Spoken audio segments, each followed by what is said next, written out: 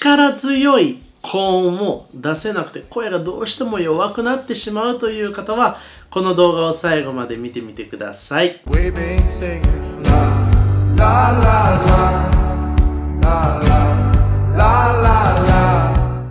ヤッホー高音大学の皆さんご機嫌いかがですか？君のボーカル講習ゆきです。今回の動画では迫力のある声を楽に出すための具体的な練習方法の仕方を解説していきたいと思います。このチャンネルでは高い声の出し方、ミックスボイスやベルティングなどについて話しているので自由に力強い高音で歌えるようになりたい人はチャンネル登録よろしくお願いします。こういった具体的な練習方法の動画がもっと見たいという方もぜひ高評価ボタンをお願いいたします。それじゃあ早速話していこうと思うんだけど迫力がある声ってなんで迫力があるのか力強く聞こえるのかっていうと声帯に空気が当たってでこの閉じる声帯を閉じる力とそこの下に溜まる圧この2つのバランスが取れた時に声って大きく出たりとか力強く出るのね。だから声帯を閉じる力とこの声帯に必要最低限な迫力のある声を出す最低限な圧をかける練習をしないといけないのね。それが今回教える練習です。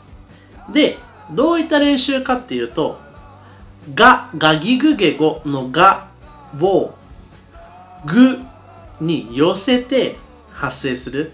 だからこういう発音になるのね。ぐぐぐぐぐぐぐ。がーにも聞こえるしぐーにも聞こえるのね。ぐぐぐぐががががぐぐぐぐぐぐぐぐがぐぐぐ。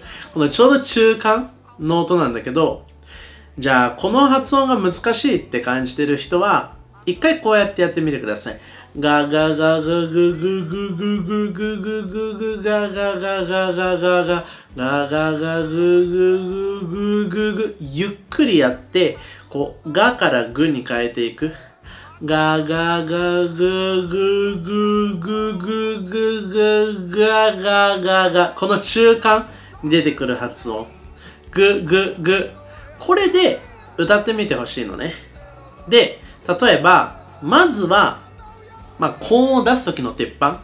楽にしっかり強く。この3つのステップなんだけどまず楽に出すことを意識しましょう。だから必要であればキーを下げたりとかしていきましょう。じゃあ Let's live like we're immortal この曲だったとしてグッグッグググググッグッグッグッグッグッグッで多少この声帯をしっかり閉じてるからここの喉に圧を感じるんだけど決して力まないし、喉を痛めるものではないのね。気持ちいいぐらいの圧。ぐぐぐぐぐぐぐぐぐぐぐぐで、だんだん高くしていく。ぐぐぐぐぐぐぐぐぐぐぐぐもっと高く。ぐぐぐぐぐぐぐぐぐぐぐぐぐここまでいったら、まあ、ここもある程度何日か練習したりとかするっていうことを意識してください。すぐにこの段階を乗り越えるっていう風には考えないでください。OK、まあ、できる人は、まあ、それで OK なんだけど次のステップに入りましょう。で次のステップとしては、まあ、声をこの状態で大きくしていくのね。ガガガガガガガガガガガガガガ絶対に力まないのね。そう。ずっと楽だし気持ちいい。気持ちいい状態が保ててないのであれば間違ってるからワンランク下げる。それは声量でもいいしキーを下げるでもいいし。グググググググググググググこういう感じ？だからまずは意識するべきこととしては楽に出せないといけないよね。で、そこからキーを上げて、それも楽に維持できてます。ってなったら今度は声量を足す。だから、キーを高くせずに低い音程で、じゃあ、まずここのキーを上げる段階をすっ飛んで、もうすぐに大きくするっていうことをするとここの低い状態を高くしてるっていうところからじゃあ今度はその状態で高くしていこうみたいなっていうのが難しくなるのね。そう。だからまずは楽にキーを上げる。でその状態から今度は声を大きくする。ね OK このステップを踏みましょう。でやらないでほしいこととしてはまず低く。そっから大きく。でそっから高く。みたいな。この段階は踏まないでほしいのね。そう。難しいから。でまあボーカルモードっていうものもあるんだけどそのボーカルモードを詳しく勉強して練習をしてるのであればこの段階を踏んでも OK なぜなら、まあ、大体高校大学とかでボーカルモードモードの練習してる子はもうここのある程度高いキーっていうのが出せたりするからまずその人たちは例外として考えてください。OK でガガガガガガガをガガガガガガガ大きく。大きくするときは口も大きくするようにしましょう。ガガガガガガガガガガガガガでこの感覚。ガガガララララ他の文字に変えていったりとか他の声に変えていく。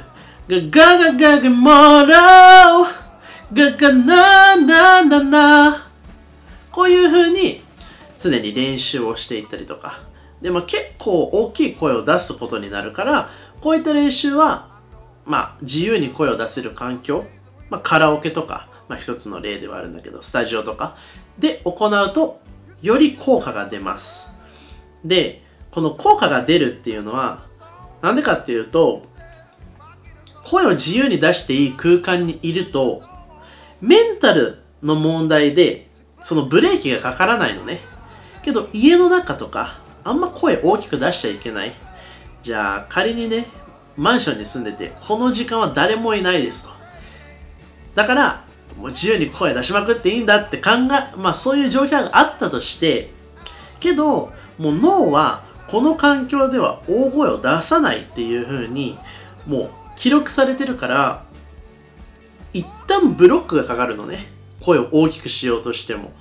だから一旦このステップ1ググググググこのグーっていう大きさから、まあ、高くしていく。ググググググググググこれなら家でできると思うんだけどこっちの大きくするっていう作業をするときはカラオケとかそういったところで行うのがおすすめです。